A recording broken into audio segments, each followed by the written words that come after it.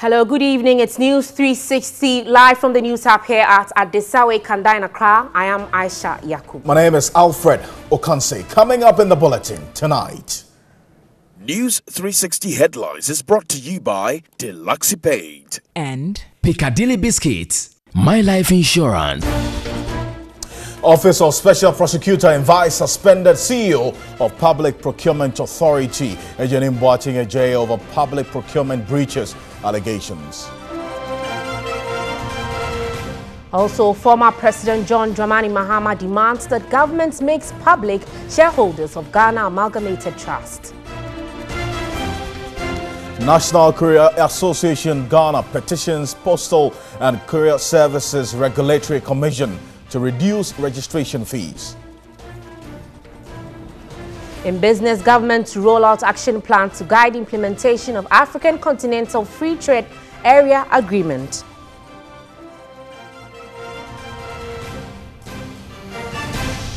And on the international front, Brazil's Environment Minister Ricardo Salles heckled at climate change meeting over a record number of fires in Amazon. We'll bring you details of these and more tonight here on News 360. Remember, we're live on DSTV's channel 279 all across the world on TV3 Ghana, on Facebook and on 3news.com.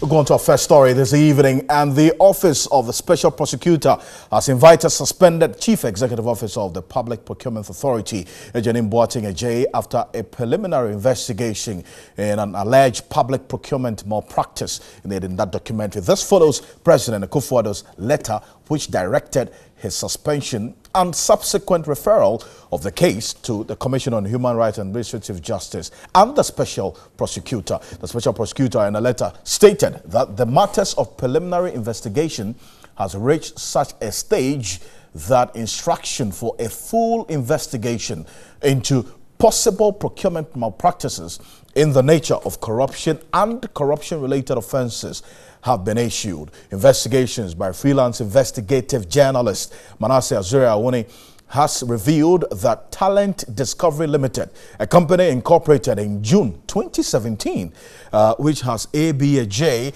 as a shareholder, has won almost 14 government contracts through restricted tendering. Now, the journalist Manasseh Awuni established in the documentary that the company was engaged in selling of those contracts to other entities, including a funny company uh, he, the journalist, set up to the purposes of un undercover job. So uh, portions of the interviews, uh, big pardon, the documentary is what you see on, on your screens right now uh, there.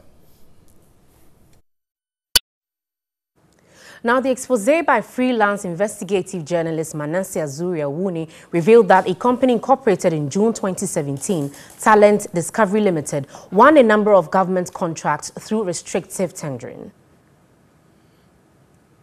Also revealed that the company was allegedly engaged in selling contracts. An encounter with the general manager of the Talent Discovery Limited, Thomas Amoah, revealed that TDL sold road contracts to Kedra Enterprise, a fake company Manasseh used for the investigation at a cost of 22.3 million cedis. However, CEO of the Public Procurement Authority A.B. Adjei, who is said to be a shareholder of the company, denied knowing anything about the sale of contracts by TDL.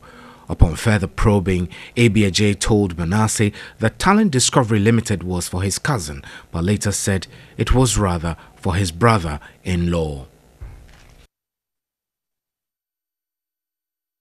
And this is a developing story, and the reactions indeed have been coming in from, from various areas. Uh, meanwhile, the director of communications at the Jubilee House uh, as a presidency, Eugene Arhin, is saying the swift response from the president is an indication that he is committed to pursuing this matter to its logical conclusion. He spoke in an earlier interview.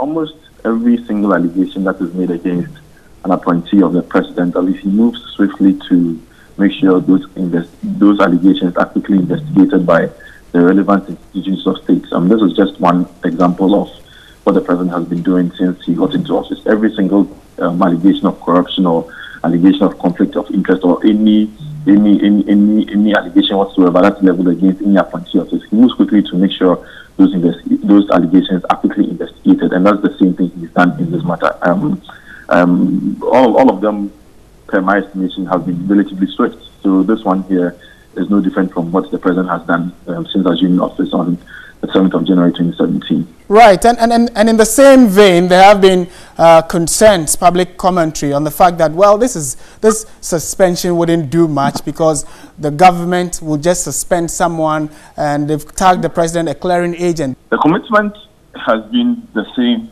throughout since the president assumed um, office.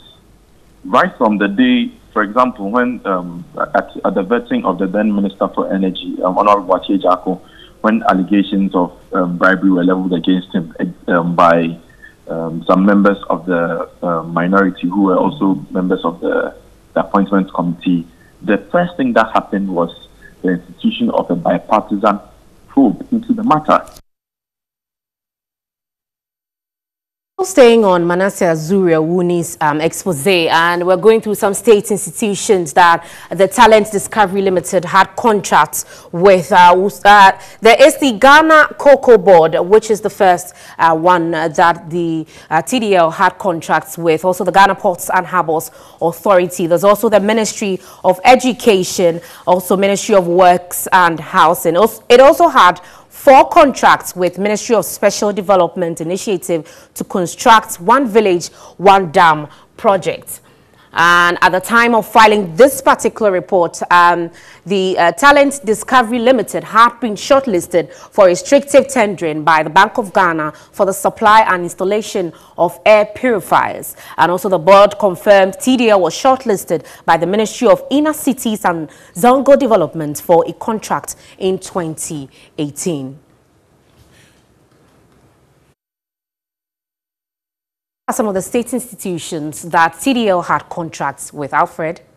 Fantastic. So, uh, Aisha, thank you for that. Clearly, a very, very interesting development there. And uh, it's in, in indicated about 14 government contracts Aisha was giving to this particular or awarded to this particular company. The man, Manasseh Azure Awuni, is joining me via Skype uh, this evening. He was supposed to join us in studio, but for some security reasons, would have to resort to this. But Manasseh, thank you for your time uh, this evening. Now, I want to find out, first of all, how do you react to these the responses from, from, from the presidency, suspending the, the, the, CEO of the Public Procurement Authority, writing to Commissioner of Human Rights and Administrative Justice Dashraj, and then now the special prosecutor also inviting uh, the, the CEO who's been suspended? Well, I think it's very commendable. Uh, we hardly get such swift actions from uh, duty bearers. So I commend the president highly for taking the first step to suspend the man and also referring the case to the special prosecutor and also CHRAJ. Two different issues are involved, and we know CHRAJ does well when it comes to conflict of interest investigation.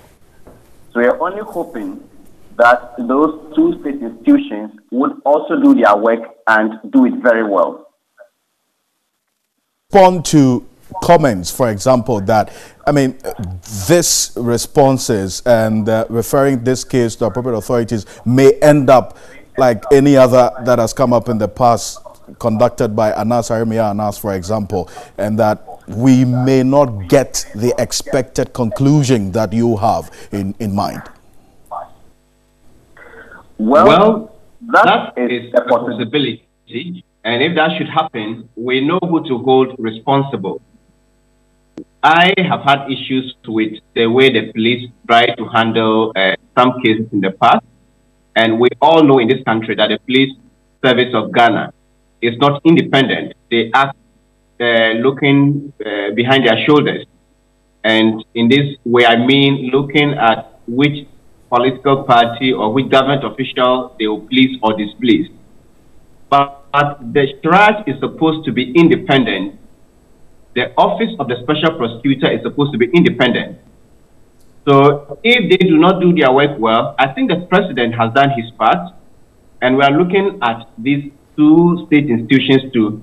And that is not to say in the past they've acted in ways, some of them have not acted in ways that gave Ghanaians the confidence that they would do things right all the time. I remember in 2016, DRAG conducted investigation, conflict of interest and alleged bribery investigation into the Ford saga. And I've had reason to point out to DRAG mm. that obviously it was it, it set out to clear the president and not to do a good job. So we are hoping that this time round they will do a good job. And doing a good job doesn't mean they should by all means punish those who have been named in the documentary if they go into the matters and they realize, well, they are not guilty, they should be set free. If they go into the issues and they realize that, well, they are as guilty as charged, the law should take its course. In all things, we expect fairness from these institutions, and they should be firm. Well, but what expectations do you have personally uh, in putting this particular video, the documentary that you did? What do you expect out of this? Uh, documentary? As a journalist, I do not think that it is right for a referee at the Public Procurement Authority to double as a player in the procurement process. I do not think it is also fair that somebody will get government contracts and sells them to people or companies that do not have the expertise, the competence, not even the tools to deliver because they were prepared to sell a road contract to me. I don't have any knowledge about repairing roads or even fixing roads.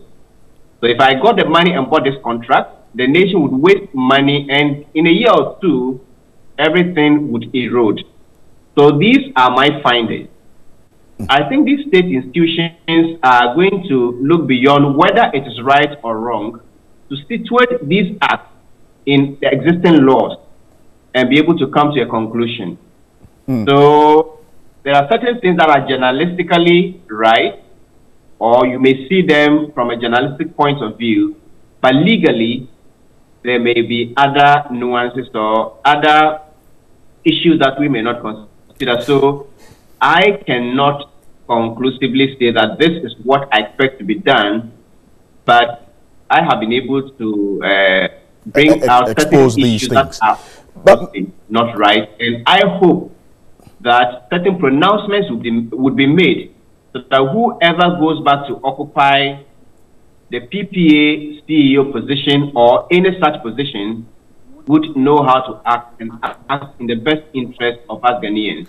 Manasseh, 30 seconds, very quickly. Do you, did you get an impression that indeed the board of the PPA was also uh, to be implicated in any way in, in all of this because there are many who have suggested that the board should also be suspended after this particular expose.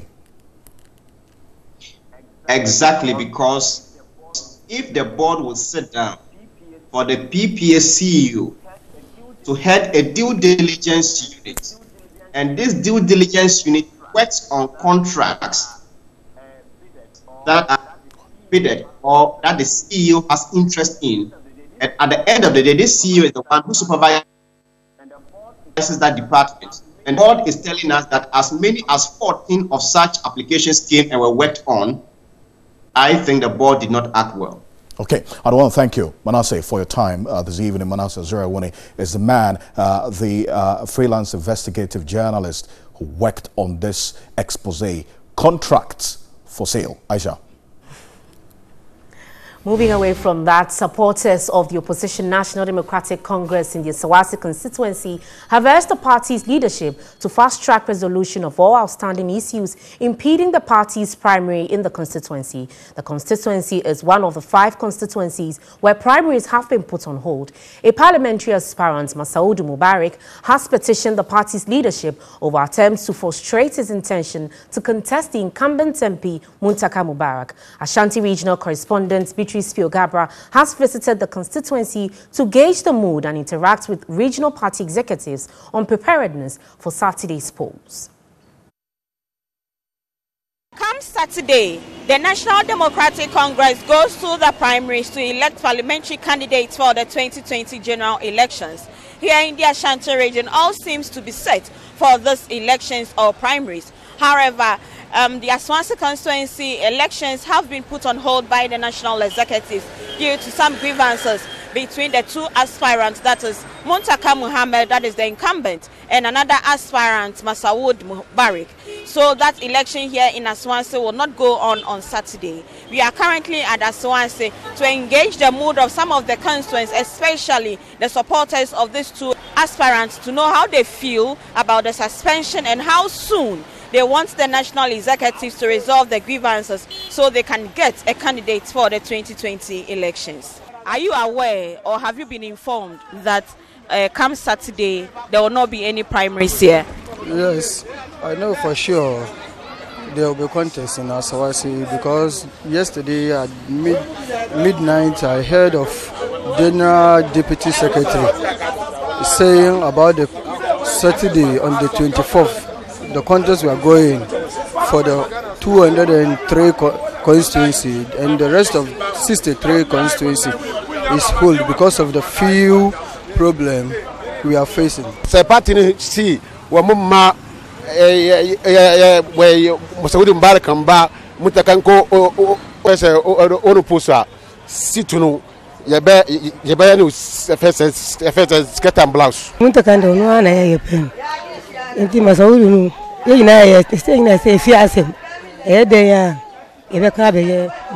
Been joined by the Ashanti Regional Secretary of the National Democratic Congress, all in preparation towards the primaries come Saturday. Looking at Asawase, we just had a communication that uh, Asawase has been put on hold. Why that election has been put on hold, and how soon you anticipate that there will be an election in that constituency?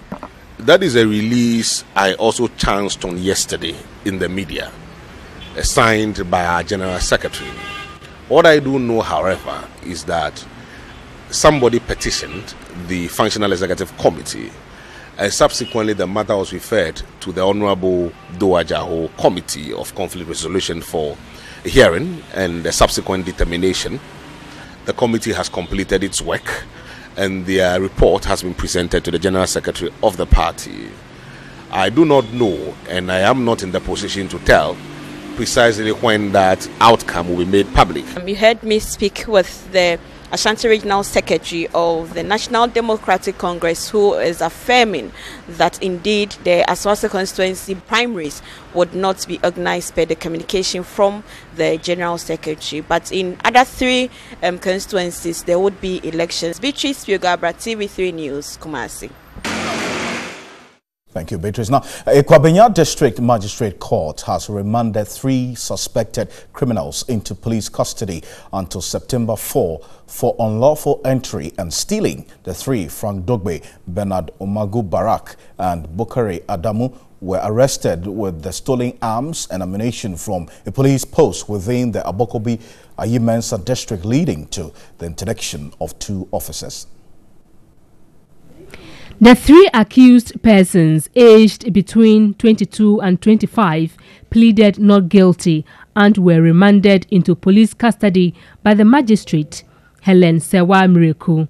Two other suspects, Selassie Yao Aja and Patrick Tete, aka Soldier, are at large.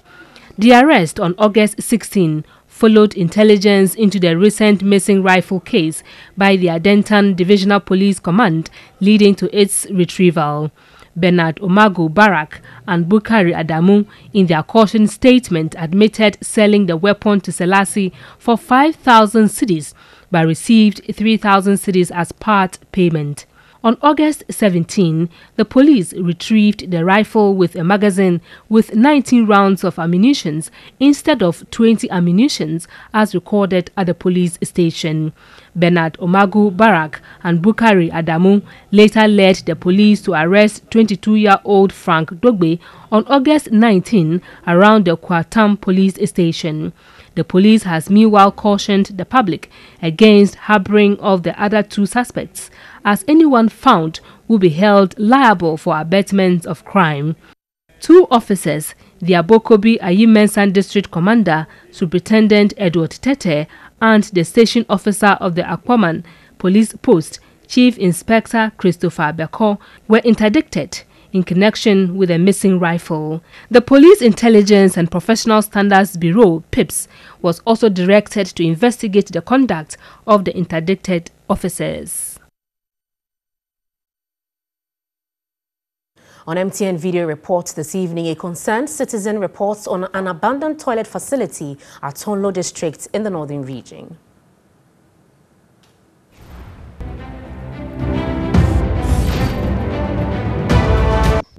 This is how the toilet for Buyilidi Primary School looks like.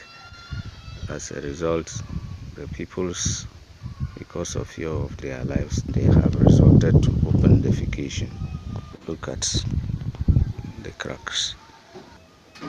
As a result, they have abandoned it. Look at the roof. We are appealing to authorities to help get a toilet for the peoples.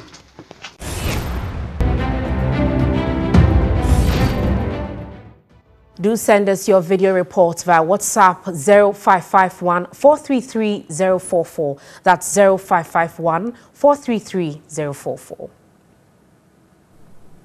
It's live here on News 360. Remember, there's a lot more coming up in the world of business with Nanekia Mensa Abrampa. Do stay.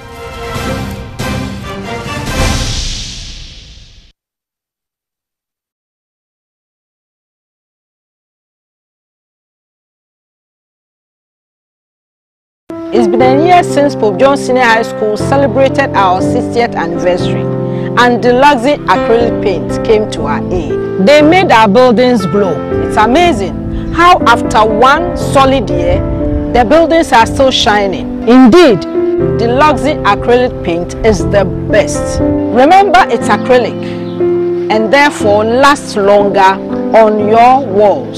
Choose the Deluxe acrylic paint. Paint champion. If everyone's family wants to make it big. In everybody's eyes, the Masons are different. It is not because of how loudly Grandpa Mesa boasts. My 70th, no table, just sing it. It is not because of how Mrs. Mason is making big plans to open a new shop. It's all about the kind of projects. One can try and one title and that one blue. It is not because Mr. Mason's son has a list of fantastic dreams as tall as the Jamestown Lighthouse. Hey, Kofi, what's up? I am going to be the captain of the biggest ship. I thought she wanted to be a doctor. That was yesterday. It is not because Mr. Mason is always giving great advice. Kofi, don't put off till tomorrow what you can do today. But it is because Mr. Mason takes his own advice. He took a My Life insurance policy for his family so that they can feel free to live the life they want. Be a hero to your family. Get a My Life insurance policy today. My Life. Live more. Be a hero to your family. Girls don't play football. Those are for girls. You can't do engineering, do arts.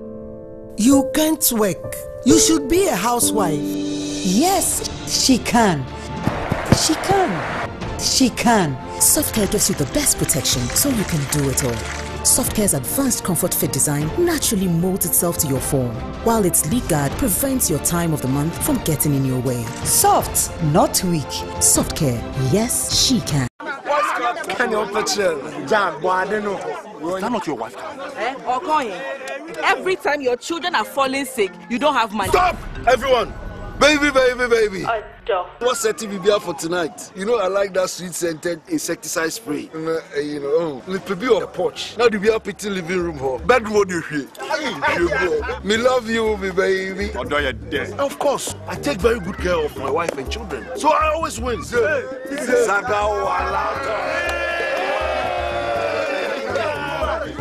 If you want to protect your family against mosquitoes, there's still this sweet scented perfume coil now. I repel mosquitoes. I know a man who say baby. And the spray eh, also sweet scented. It kills all crawling and flying insects. Heaven insecticide. Oh, sharp no no no. Abuso. When they badamoshi, prevention is always better than Maunsanka or heaven insecticide spray. And in the coil, if you say heaven dear, This advertisement has been vetted and approved by the 1958.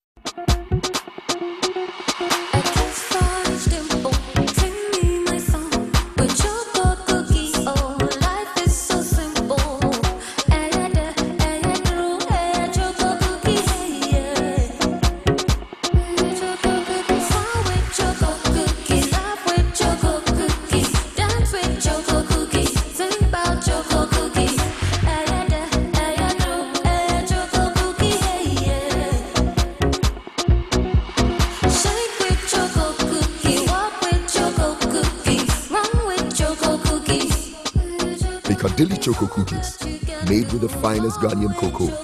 Now introducing Piccadilly Butter Cookies, a new addition to the Piccadilly family. This advertisement has been vetted and approved by the FDA. And your custom double deal mega promo. Your LED TVs in nyinaa, and your ultra slim, digital, satellite, Now your inbuilt decoders in Womwa, among over 100 channels nasco 32 inches 699 ghana cedis. 32 inch care 799 cedis. 40 inches 1049 cedis. 40 care 1299 cedis. 43 inches 1299 cedis. 43 care 1499 cedis. Yes answer the best energy saving air conditioners for full. NASCO 1.5 horsepower air conditioner, 1390 cedis. NASCO tabletop fridge, 599 cedis. NASCO 4 burner gas cooker with oven, 599 cedis. Kwaya Josu Nyina, Fryer 0500 000 105 and a 0500 000 106. Kafam Ghana Limited. Sadia. The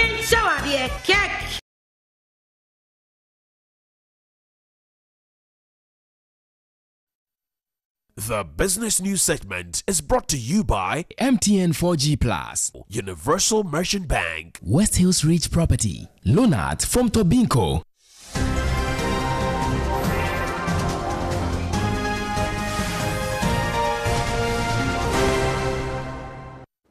A very good evening to you and thanks for staying with us right here on News 360. Let's look at our business updates for tonight with me, Nana Ikuya Mensa Abrampa. And beginning with the Ghana Revenue Authority, GRA, has revised the penalty for defaulters of the excise tax stamp from 100% to 200% of applicable tax. Now, the Chief Revenue Officer of the Excise Tax Stamp Division, Kwabena Apel, Uwa, uh, Anto, during an enforcement exercise in Accra, said defaulters will be processed for court. The Chief Revenue Officer of the Excise Tax Stamp Division of GRA, Kwabena Apau Iwa Anto, said the authority will apply stiffer punishment to ensure compliance. There are situations where people apply for stamps to be placed on 250 ml bottle products, and we find them on 1,000 liter products and 750 liter products. That is an infraction of the law. He said the Ghana Revenue Authority presently has two traders before court and six others being processed by the police. They are prosecuting two, two uh, offenders uh, people who have faked their stamps, people who have taken stamps from us and they have, have fixed them on other people's products. There are other six cases that are under investigations. You know, we have reported to the police. He encouraged consumers to help enforce the excise tax stamp by downloading the new application which detects fake stamps. Many goods without tax stamps were seized in Accra. The excise tax stamp is specially designed with digital and other security features which is affixed on excisable goods to show that taxes and duties have been paid. It is affixed on specified excisable goods in Ghana, whether locally manufactured or imported. You are here, I know here. I'm not the owner. Now why the, who is selling? If the owner know the, who opened the That's why I said I'm calling the owner when I get there. So government is expected to roll out an action plan to guide the implementation of the African Continental Free Trade Area Agreement. Now, this action plan, among other things, is to remove all trade barriers and allow for free movement of people and goods and services between member countries.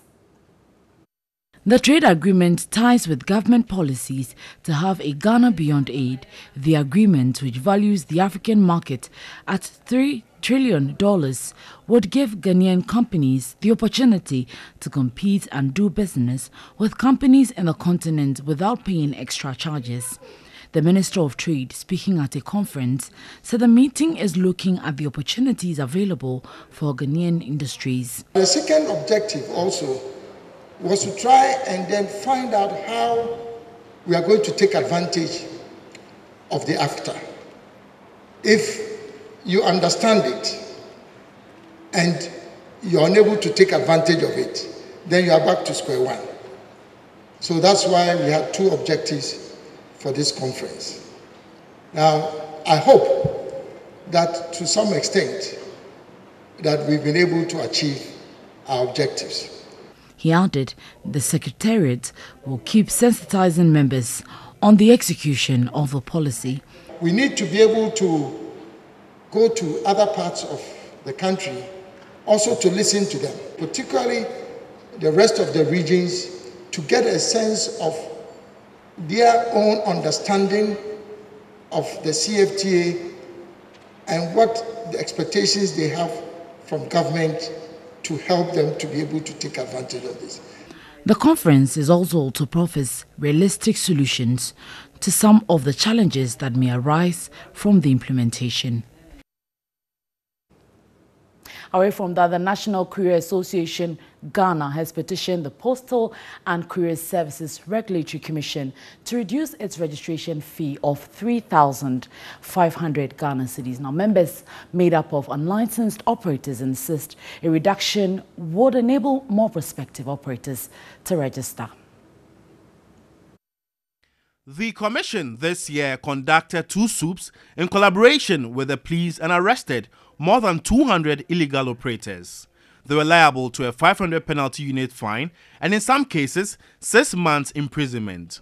Their reason for not registering is a 3,500 cedi registration fee and 1,500 cedi annual renewal, which they insisted was too high. We want our members to register under them because our members are duly registered under the laws of Ghana and we want them to register. So we are doing all these collaborative efforts to ensure that the prices are reviewed so that even the registered members themselves want the prices reviewed because they don't have anybody to stand in for them to uh, petition.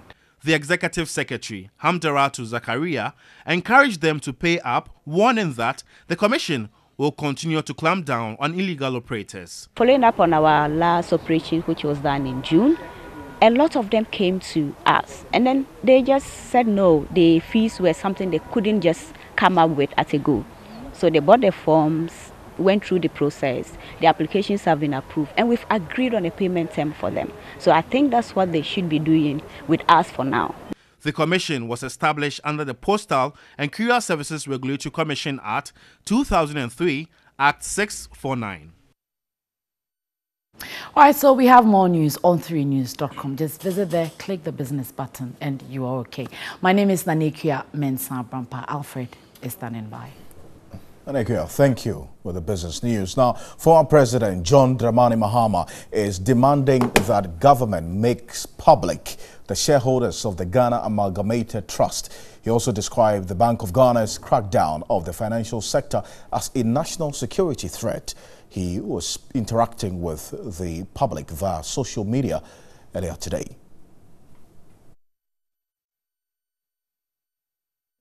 Major problems in the banking and financial sector, including deepening the already widely held mistrust and lack of confidence in the system by many Ghanaians, and there appears to be no end in sight.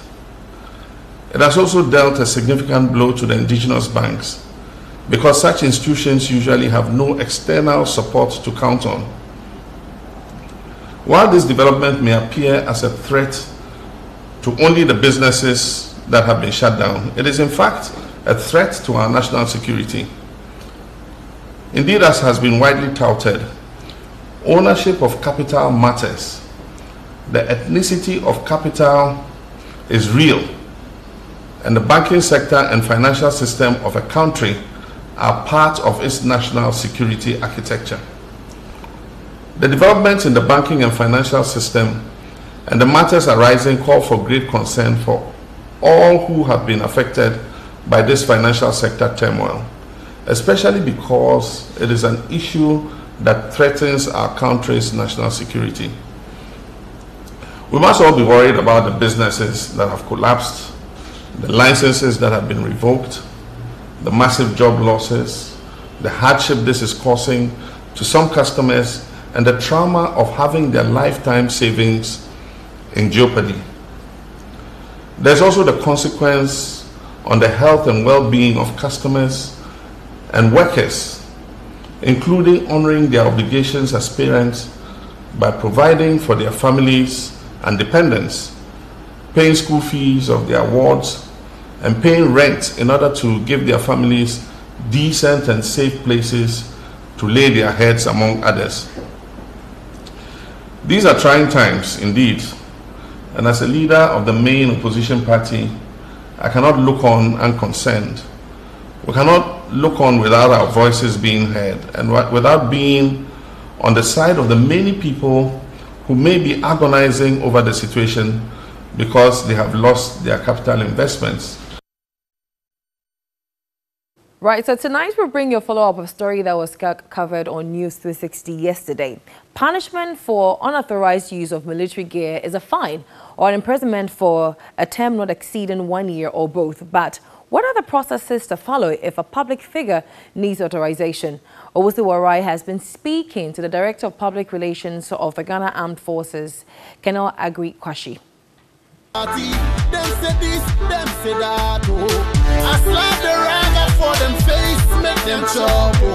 What does the law say about people who don't have the permission to use military uniforms?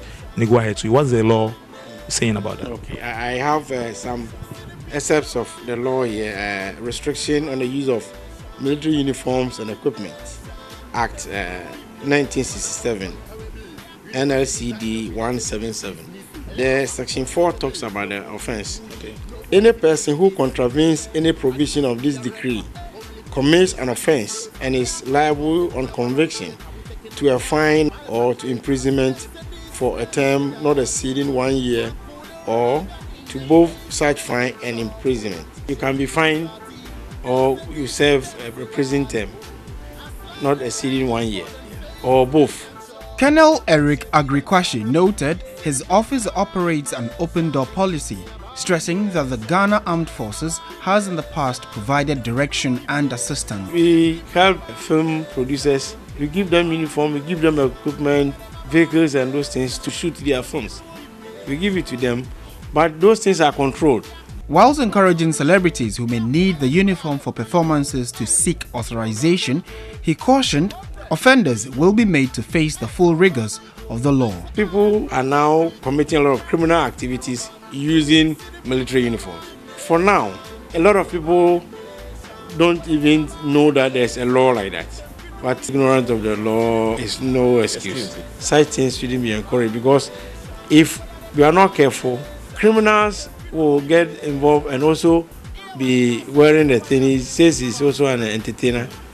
The next time he comes on stage, he wears the dress to dance.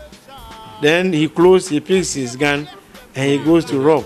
All right, so for instance, I've seen Shatta Wale, I've seen Stonebwoy, I've seen Sidney, I've seen other top entertainers mount the stage in full military gear.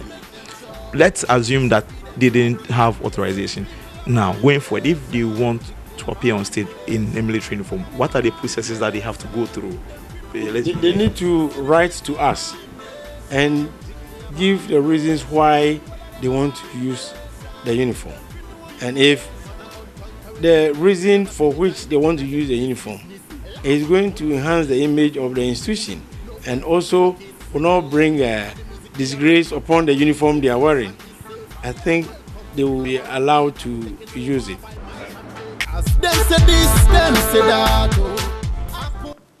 So, well, now you know, and I hope you're better informed. You can't use the uniform, but you must seek permission first.